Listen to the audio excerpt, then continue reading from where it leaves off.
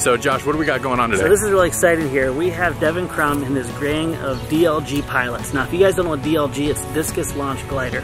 It doesn't sound like something really intense until you see what they do. These are carbon fiber, lightweight, high performance gliders.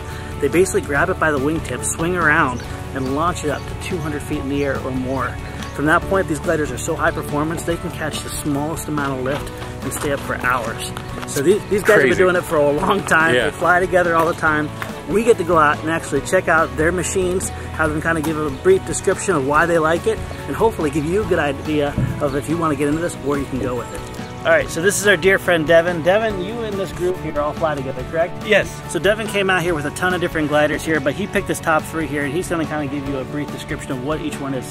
Top one, what is that, buddy? Uh, actually, the top one is one I'm getting used to. It's one that uh, Josh makes, and it's a brand new one that uh, I'm still learning how to fly. Uh, it's going to probably be my favorite one to fly at night because it's uh, lit up for night flying. It's a night flying DLG. Yeah. Awesome. And what's the one below it? The one below it is called the Flitz. This was my second player that I buy. This is pretty much my primary uh, backup.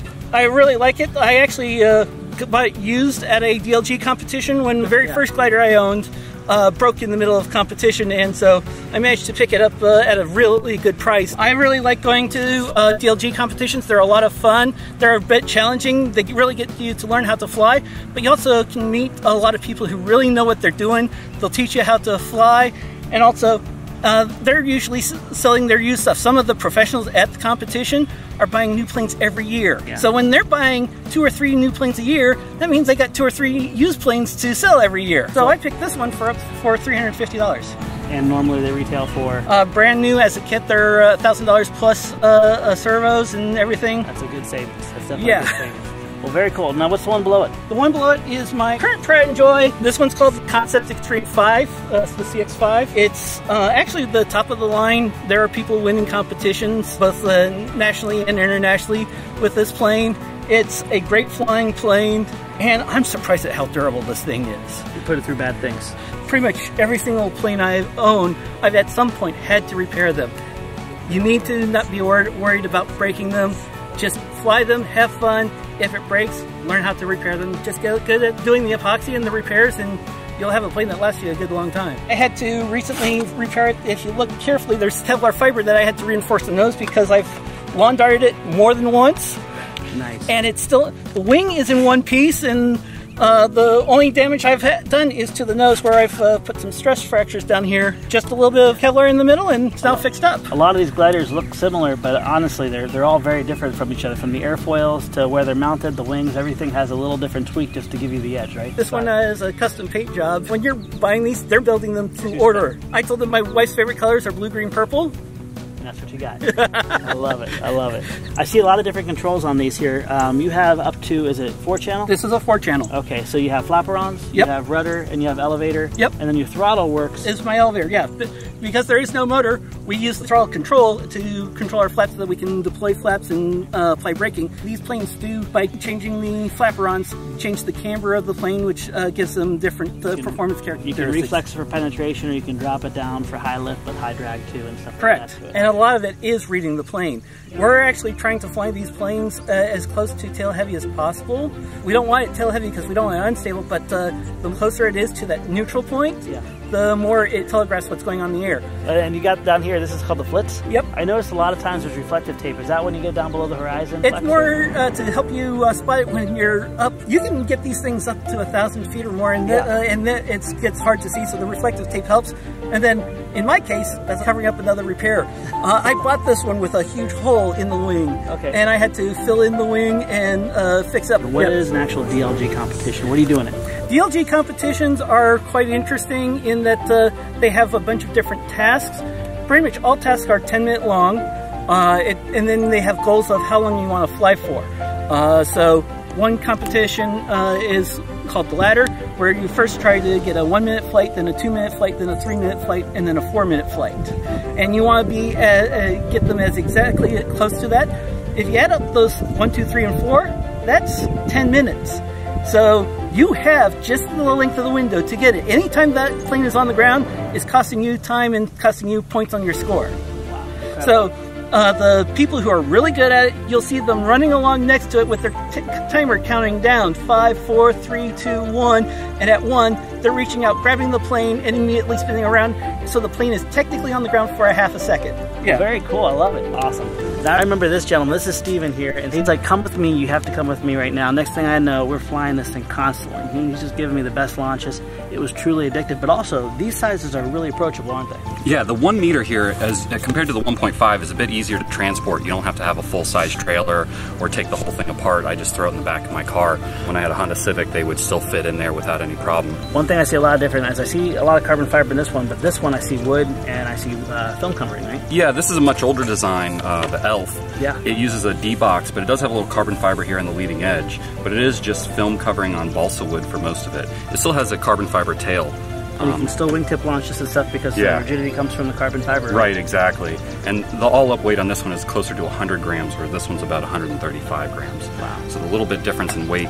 Um, this one won't penetrate the wind as well, but on a nice calm day like today, it still has a lot of fun and catch those low thermals. Big thing I notice here, this is a true two-channel uh, aircraft, where yep. this is actually... Uh, this is a three-channel here. Three-channel, okay. Yeah, so, so flaps it has flaperons, right, flapper exactly. And it doesn't have a yaw, oh, okay. but it just has elevator. Okay, so so three-channel, but you have the flaperons, which is mm -hmm. flaps and ailerons together, no rudder, which gives you your yaw typically. Right. So I guess one disadvantage is you're kind of spilling lift on this yeah. versus being able to turn it and keeping your lift. Right, exactly. And it is a bit more acrobatic because of that. So you're you're kind of banking yeah. in turns and yanking around. So you know when you have a smaller place to fly, you can really get fun and do little tricks with it um, that might not you might not do with a larger one and a half. This is almost like the park flyer of the DLGs. Exactly, park or actually backyard flyer. I'll fly this in really? my backyard and, and surf the the lift coming off the tree tips. What blows me away is something one meter can still catch a thermal beautiful. Oh yeah, so if I remember correctly, they're both in about the $300 range. That oh, wow. makes them pretty approachable. And this one I got used for around 200 bucks with all the electronics in it. So they're they're definitely more affordable in this size, which is one of the reasons I'm able to buy them.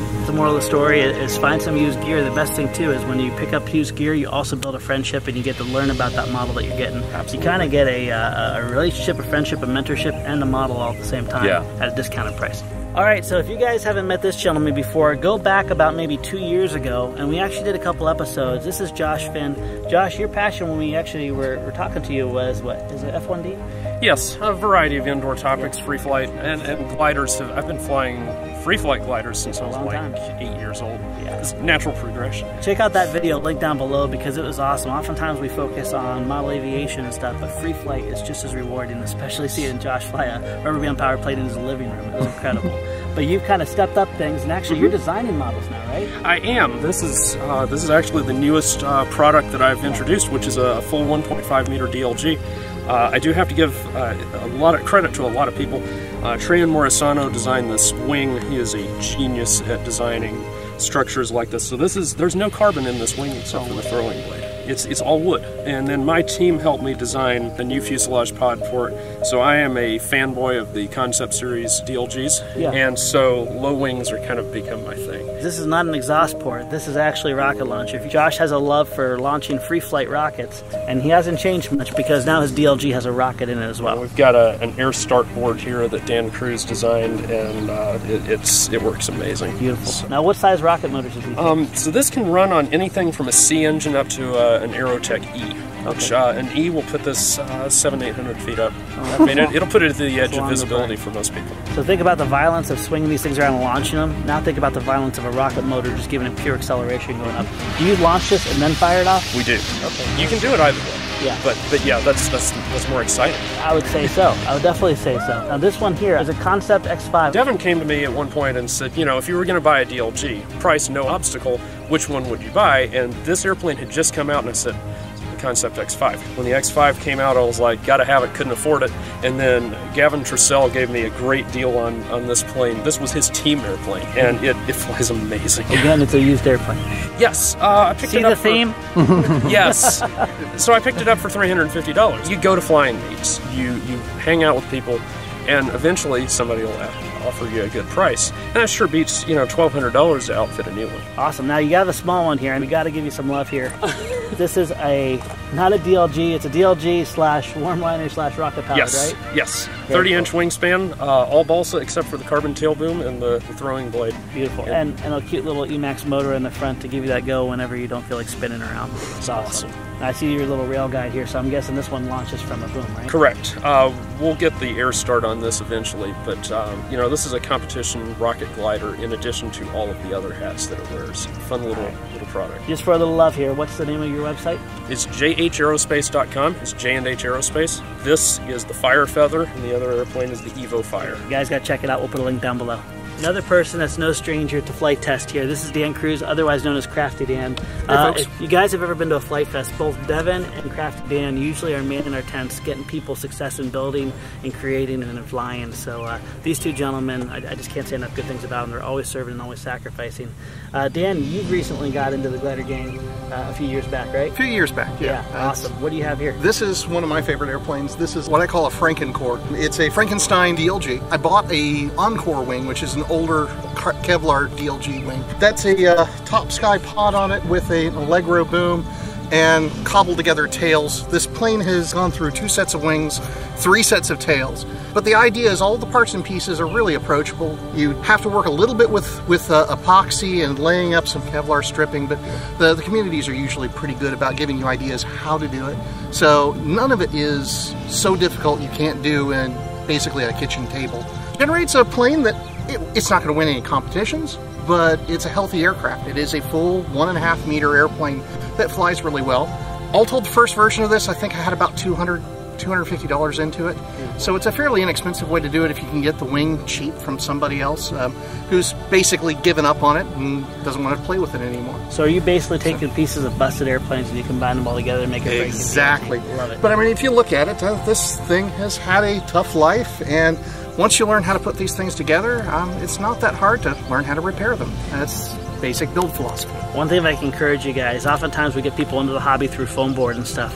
Don't neglect how awesome it is to learn how to build your own aircraft, how to fix your own aircraft, because it's a very small step from going from foam board and hot glue to DLGs. Yeah. It happens very quick once you fall in love with both building and flying. Hey, what's this one here? My other favorite plane. This is the Concept CX-3. Um, it is an older version of what Josh and and Devin are flying. But it's a nice light floaty plane. One of the things is when you start shopping for DLGs, have a look and see what other people think of each one of the planes. They'll tell you which ones are really floaty, which ones are really fast and yeah. slippery, which ones are all around performers, and sort of pick and choose what kind of airplane that you like because it, you want to fit it to your flying style.